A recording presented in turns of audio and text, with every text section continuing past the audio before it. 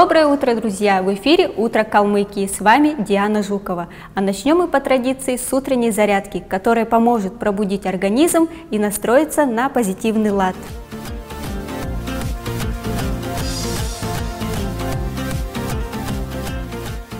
А, доброе утро, дорогие телезрители! Сегодня предлагаю вам провести зарядку вместе с нами. А, желаю вам продуктивного дня и прекрасного настроения. Первое упражнение мы начинаем с прыжков. А, прыжок э, ноги в сторону, руки наверх.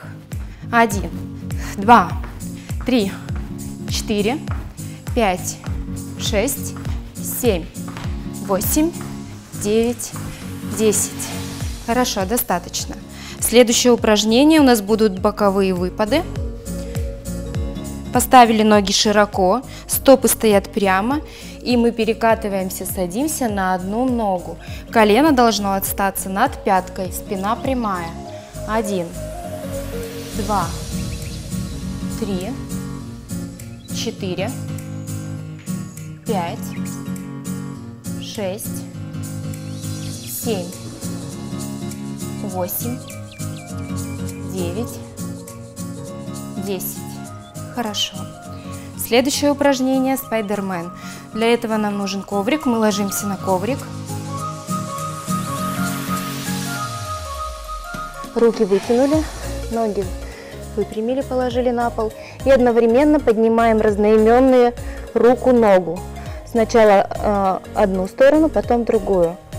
Один, два. Движения плавные, не резкие. Три, четыре, пять, шесть, семь, восемь, девять, десять. Хорошо, поднимаемся. Следующее упражнение. Обратный мост вытягиванием руки. У нас четыре точки опоры. Ноги и руки выпрямляем. Э, стопы стоят полностью, не отрываем пятки, выталкиваем таз наверх и поворачиваемся в сторону. Один, два, три, четыре, пять, шесть, семь,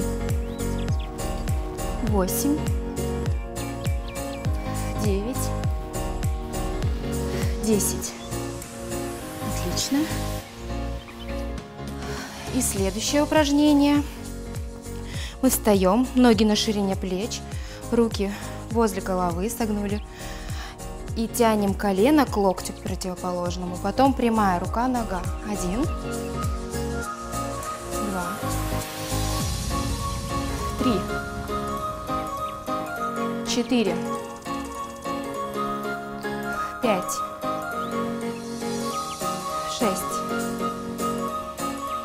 Семь, восемь, еще два, один. На этом утренняя зарядка закончена. Всем желаю хорошего настроения. Ну что ж, мы продолжаем эфир «Утро Калмыкии» и плавно переходим к утренней трапезе. Ведь ни для кого не секрет, что именно завтрак является полезным составляющим для насыщения нашего организма. Внимание на экран!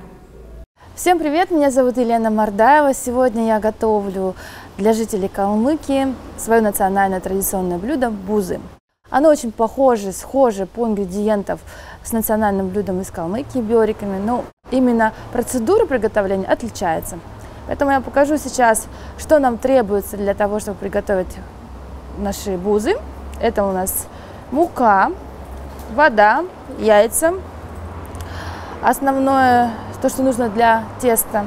Ну и, конечно, самое главное, а, состав мяса. То есть мы хотели приготовить из баранины, но, к сожалению, из баранины у нас не получилось, поэтому возьмем сегодня свинину, говядину и, чтобы сочнее был сок, возьмем репчатый лук.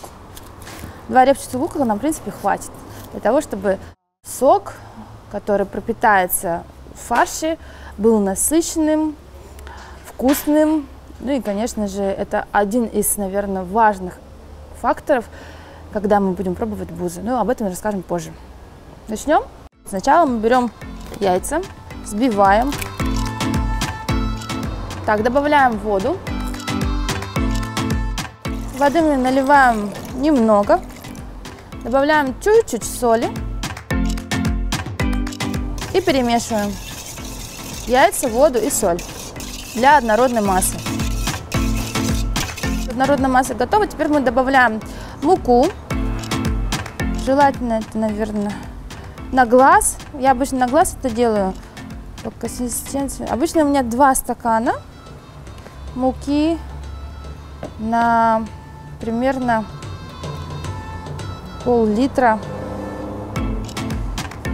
воды. Перемешиваю. В общем, мы ждем, чтобы тесто наше немножко стало твердым. Мы его руками перемалываем.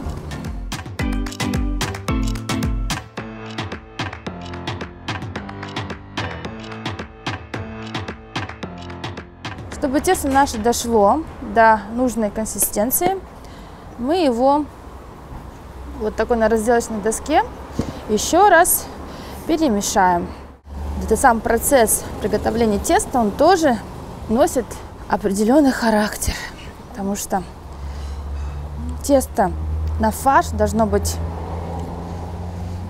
не сильно мягким и не сильно твердым.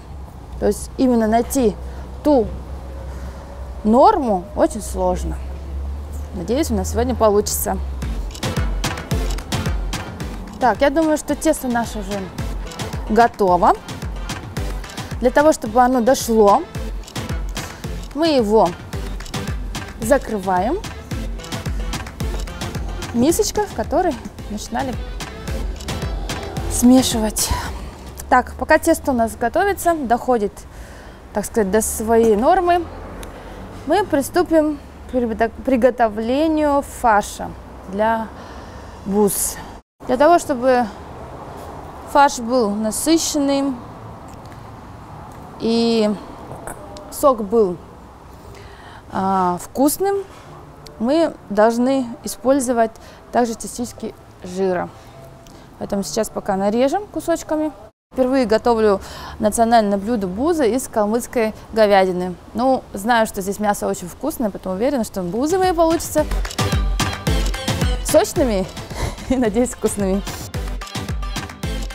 Так, ну что, у нас остался последний кусок говядины, и дальше перейдем мы к свинине. Мясо говядины приготовили, беремся за свинину. Свинина нам нужна пожирнее. Будем разделывать. Мы взяли где-то примерно 2 килограмма говядины, и соотношение со, со свинины у нас идет а, 2 к 1. Поэтому свинину мы кладем чуть меньше и добавляем наш, к нашей говядине. Так, ну мы, в принципе, заканчиваем нарезать свинину. Вот этот кусочек, мне кажется, даже много. Я его отложу. Добавлю последние кусочки нашей свинины. И приступаем к самому основному. Это репчатый лук. Мы его почистим. Для того, чтобы сок у нас был сочный, нам нужен ядреный лук репчатый. Он впитает в себя весь вкус и придаст пикантности нашему фаршу. Чем больше лука, тем сочнее бузы. Честно, люди любят по-разному. Э, кто-то вообще не любит лук. Поэтому, конечно, для таких людей стараемся меньше добавлять лука. Но у нас гости сегодня любители традиционного блюда, поэтому мы сделаем как надо. Все, нарезаем.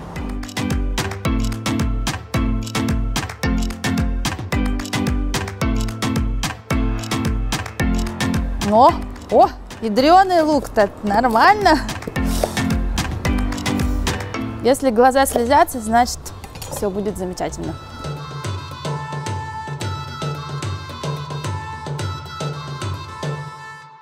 Так, мы завершили нарезку наших ингредиентов для фарша. И все теперь все это а, отправляется в мясорубку. Первым у нас идут в мясорубку говядина, потом свинина.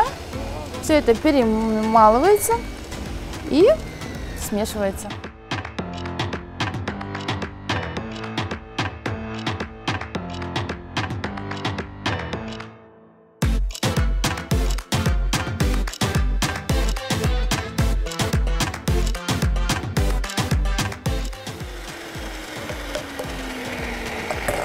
Закончили процесс перемалывания нашего фарша. Сейчас мы добавляем а, немного соли, водичку и все перемешиваем. Так, ну у нас этой миски недостаточно для того, чтобы все это перемешать. Перекладываем в более в миску побольше. Добавляем сюда чуть-чуть водички. Вода нам нужна для того, чтобы фарш впитал в себя воду. Добавляем соли соли чуть побольше. Кто-то добавляет перца по желанию. Все это мы перемешиваем.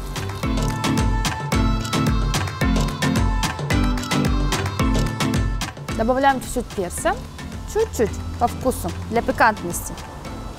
Много не будем.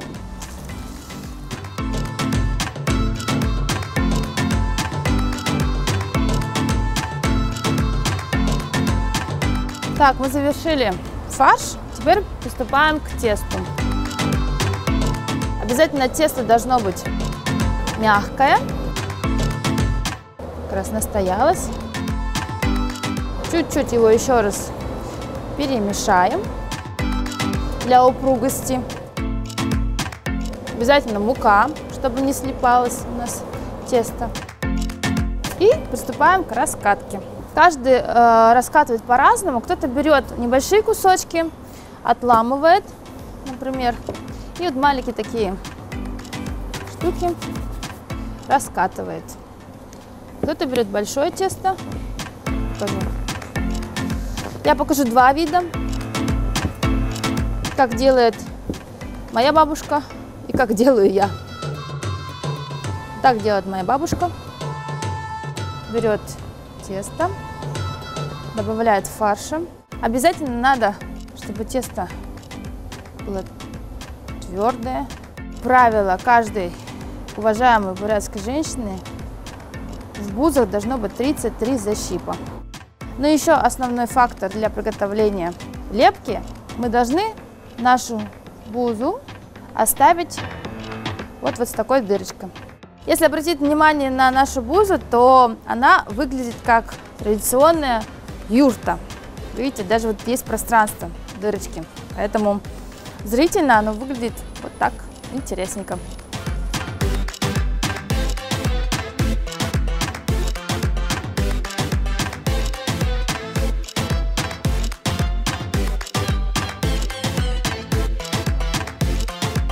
Мы заканчиваем нашу лепку бус. Вода у нас уже нагрелась.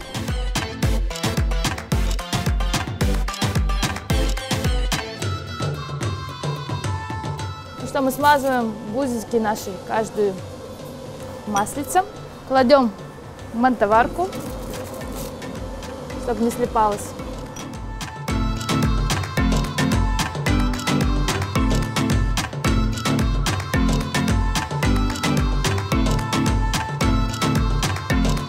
Наши бузы отправляются в мантоварку. Так, сейчас горячий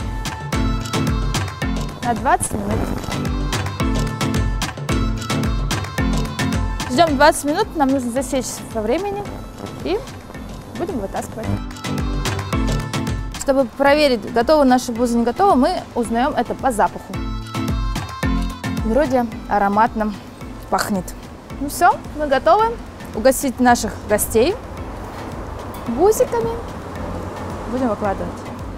Обычно мы вытаскиваем бузы из позницы ложкой, но я сегодня решила вытащить их руками. Потому что раньше так делали наши бабушки. Так. Немножко горячий. Дуем. Так. Ну что, уважаемые гости, примите мои угощения, национальные блюда. бузы. Я вам покажу, как процедура у нас происходит. А, нужно сначала надкусить бузику. Берем, надкусываем бузику. Дуем, дуем. Бульон, который у нас там есть, выпиваем.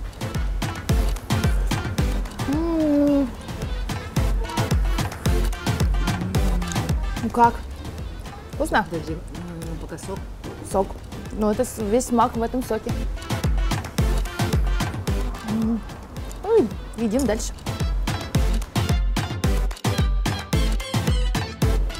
Ну как тебе?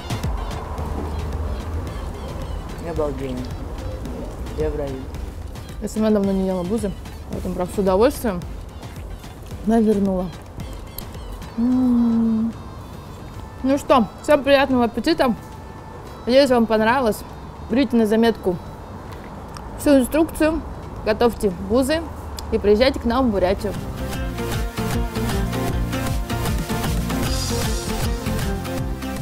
Доброе утро всем, кто только к нам присоединился. Мы находимся в управлении Росгвардии по Республике Калмыкия. Сегодня мы познакомимся с Юрием Черепановым. Здравствуйте, Юрий Андреевич. Доброе утро. Юрий Андреевич, расскажите, сколько лет вы посвятили службе? В 2002 году я поступил в Кемеровское высшее командное училище связи. С детства мечтал быть военным, так, так как у меня два дяди э, военных, один полковник, другой майор, нынешний на пенсии.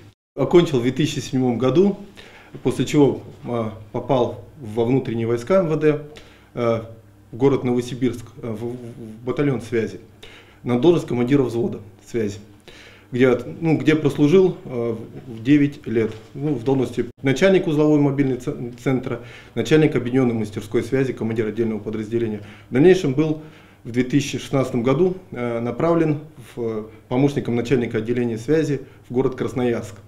Э, там прослужил, э, получается, 4 года э, в должности помощника начальника отделения связи и начальник, э, отдел- э, ну, начальник связи полка. После чего поступило предложение перевестись э, в 2020 году к вам э, в республику. Э, ну, с этим предложением мы, я очень сильно ну, обдумал, мне очень понравилось такое предложение, так как регион другой, южный, не сибирский, всю жизнь я в Сибири прожил и родился в Сибири, в Кузбассе. При- принял это предложение и перевелся сюда, на должность начальника отделения связи. Расскажите о ваших основных задачах. Главная задача это функционирование связи, своевременное функционирование связи, доведение сигналов, при- при- прием сигналов и доведение их, соответственно, до старших начальников, командиров. А, Функционируя видеоконференц-связи, соответственно, также э, функционируя автоматизированных рабочих мест должностных лиц. И, ну и, соответственно, э, если что-то выходит из строя, соответственно, своевременно все это ремонтировать, обслуживать и больше, вот от- основные такие задачи.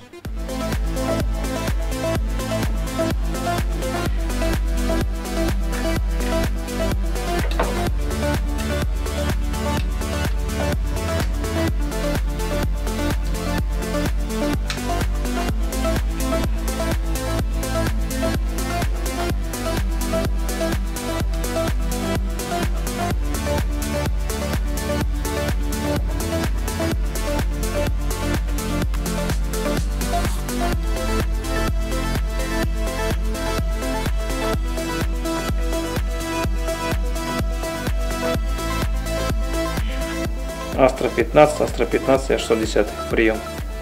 На приеме 60 для, для 315. Проверка связи, прием. Принял дежурим на связи.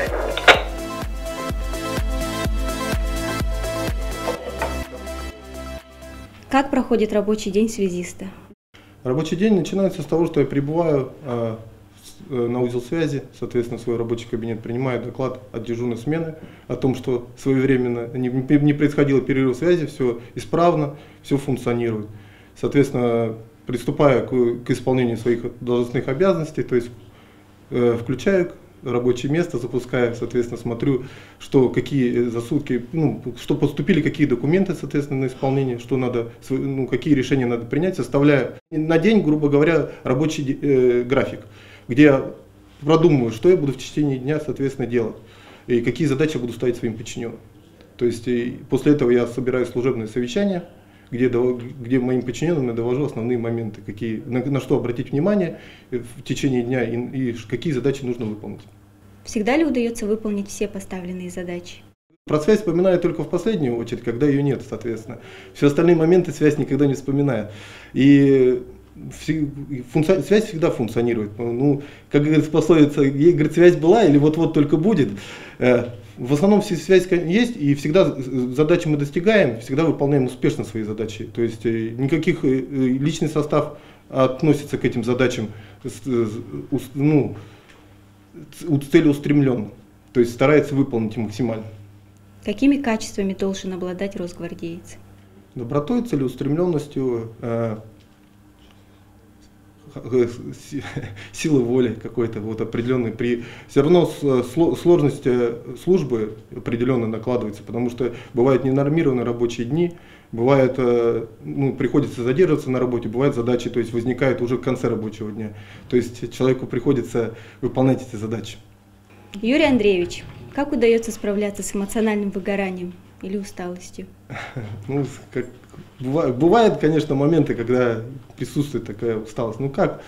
Ну, именно то- того, что понимаешь, что твои, твои, вот, твои задачи, которые ты выполняешь, они несут людям, нашим всем военнослужащим, а, как сказать, ничто не двинется, если не будет связи. То есть э, любое взаимодействие, оно осуществляется через связь. То есть, как говорил мои преподаватели в, учили- в училище, э, пока связист не, не даст связь, то есть, соответственно, не, поле- не полетит самолет, потому что не будет взаимодействия, не, не поедет танк, не ударит арти- артиллерия. То есть, вот все эти взаимодействия только через связистов осуществляются. Вроде бы как бы не видно, но оно есть. Как, говори- как у нас говорится, гро- громче крикнешь, дальше слышно. Основной принцип связи. А какие требования сейчас предъявляются кандидатам Росгвардии?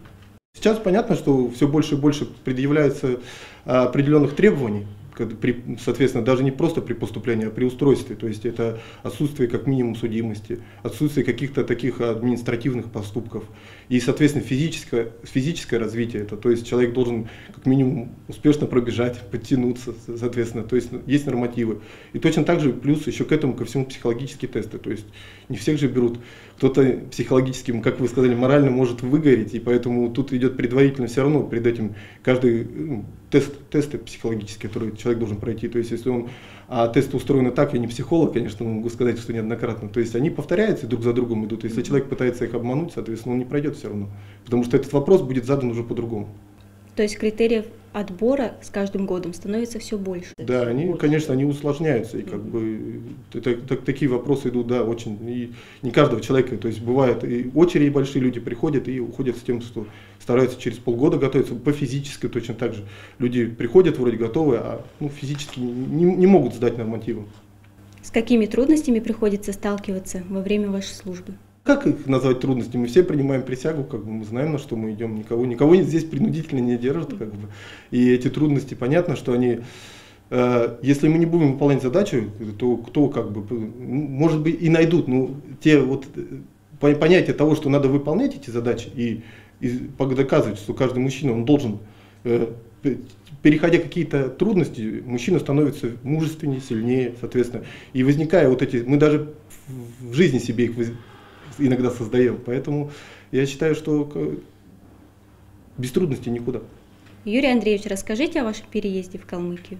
А пере- переезд это как пожар уже, это уже, это, это у меня, как семья большая, как бы, поэтому это сбор всех этих вещей, сдача служебного помещения и, все остальное, это как бы, да, это определенные такие трудности, ну, они, они, я говорю, они же интересные, это же, ну, говорю, сменить Сибирь на юг, это климат, вот взять ваш, мне говорю, он для меня вообще. Жаркий, сухой климат. нет, он интересный, что лето, лето очень долгое, да, ну, жа- жарко, соответственно, наш, наша температура у нас еще минус, у вас уже здесь погода такая теплая, весна уже достаточно уже. Для, для Сибири это весна уже. То есть семья поддержала, да? Да, семья изменение? поддержала, семья с удовольствием, им интересно все это. Они как бы с интересом им все это, они не были как бы в отпуске отдыхали, но на юге как столько времени тоже все с Сибири, поэтому им это очень интересно. У вас архитектура своя и все степи, просторы такие, как бы у нас все леса и все по-другому совершенно. Чем вы занимаетесь в нерабочее время? Ну, воспитываю четверых сыновей, у меня четыре сына, соответственно, так как сам как бы без отца рос, то есть я всегда хотел большую семью, отец погиб, поэтому это зани- занимаюсь детьми в повседневной, то есть э, ходим с ними в выходной день на стадион, чтобы они там пробежались, по, по- на траве полежали, просто э, поподтягивались. Пот- То есть парни у меня все занимаются спортом, они все ну, стараются тоже за мной, они видят, что как бы я прихожу с работы и стараюсь чем-то заниматься. И они, соответственно, подхватывают. Личный пример это единственное, что, что может человека сподвигнуть, детей может подвигнуть. То есть это личный только пример. Ну, соответственно, а осталь- ну, стараемся по республике что-то посмотреть, запомнить, чтобы в детстве все это отложилось, что не просто там переезд, а как бы что-то, ну, архитектуру всю вашу смотрим, э, про, ну, храм вот ходили, смотрели, как бы вот такие, ну, такие моменты обращаем. В остальное время все равно служба как бы забирает. Юрий Андреевич, профессия связиста, на ваш взгляд, больше подходит для женщин или для мужчин? она подразделяется, потому что есть э, должностя, такие же, как, э, которые как телефонист, э, коммутатора, либо э, дежурная смена ну, шифровальной службы бывает, соответственно, для переноса телеграмм. То есть есть такие специфические должности, которые предназначены именно для женщин, соответственно, и э, женщины служат на, на этих должностях, и как бы э, лучше даже в некоторых моментах справляются, чем мужчины, потому что женщины, они более точные, более скрупулезные ко всему относятся. Мужчины более как бы к этому ко всему не так относятся, как жен... точ... точность, вот именно, что к каждому моменту женщина относится более точно, поэтому они связаны такие, где можно что-то записывать, писать, вести какую-то вот такую важную информацию, потому что где-то мужчина мо- может отвлекся, что-то сделал, и все, и как бы он сбивается быстро, в отличие от женщин.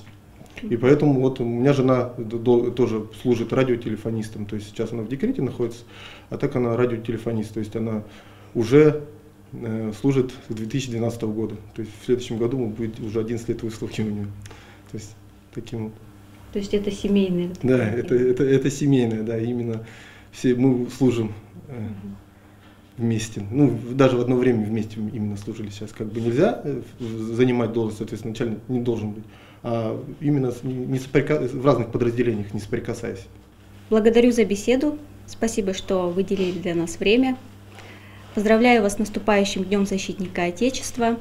Желаю вам профессионального роста, карьерного развития и э, предоставляю вам возможность сказать какие-то добрые пожелания нашим телезрителям.